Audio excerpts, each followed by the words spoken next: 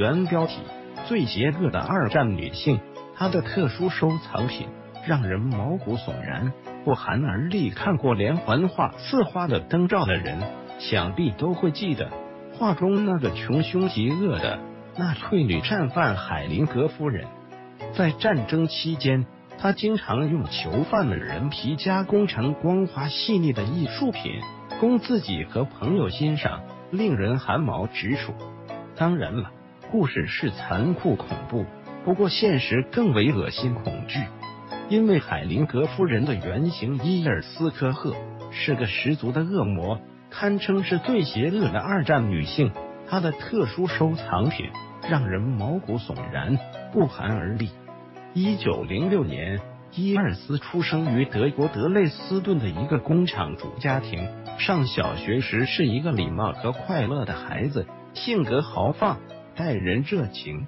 一战后，协约国的制裁让德国原本就不景气的经济迅速衰败，彻底击垮了伊尔斯的家庭，导致他父亲失业，母亲的女红也日益失去销路，这让原本富裕的家庭一下子陷入了无法生存的地步。后来，伊尔斯的父母为了维持家里的生活，每天在外面劳累奔波。最终双双病倒在床前，早早的死去。也是从这时起，伊尔斯开始仇恨英法等国，还发誓要报仇。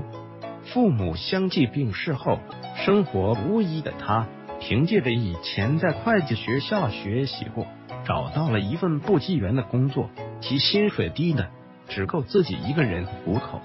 正当他绝望之后，纳粹的崛起给了他希望。一九三二年，伊尔斯加入了德国的纳粹党。一九三四年，他结识了党卫军军官卡尔科赫。两年后，二人结婚。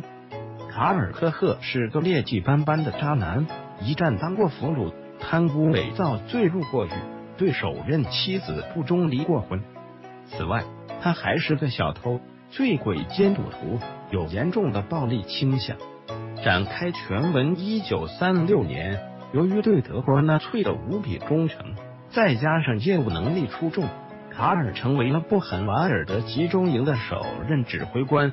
伊尔斯也随同丈夫担任看守主管。布痕瓦尔德集中营是德国最大的劳动集中营，从一九三七年至一九四五年。这里囚禁了约二十五万被纳粹视为敌人或劣等民族的人。这些人在这里做着粗重的体力活了，搬运石块、建筑房屋、修建铁路。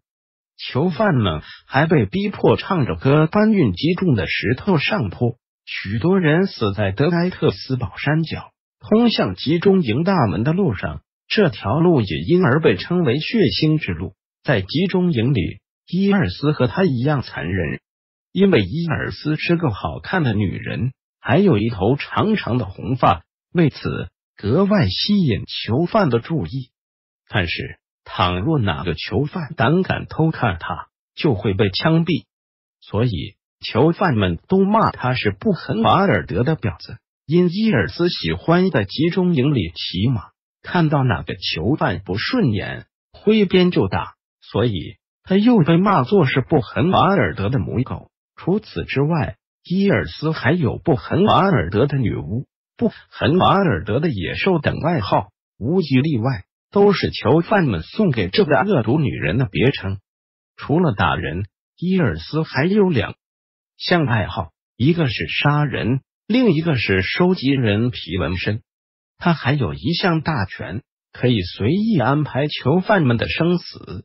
因此，在集中营里，年轻力壮的囚犯暂时被收押做苦工，而儿童、妇女，特别是孕妇，更多的则是用来做毒气的试验品。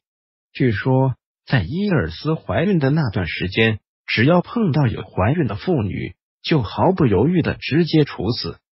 跟杀人相比，至于收集人皮纹身，他干的更是不亦乐乎。伊尔斯经常把那些身上有纹身的囚犯被带到他那里，从中挑选他喜欢的图案，然后这些人被杀死后，他们的皮就被伊尔斯做成灯罩，钱包、书籍的封套、票夹、手套等手工艺品，而且他还把囚犯的大拇指砍下来，然后风干，用作房间里的电灯开关。一九四五年四月十六日，布肯瓦尔的集中营被美军解放。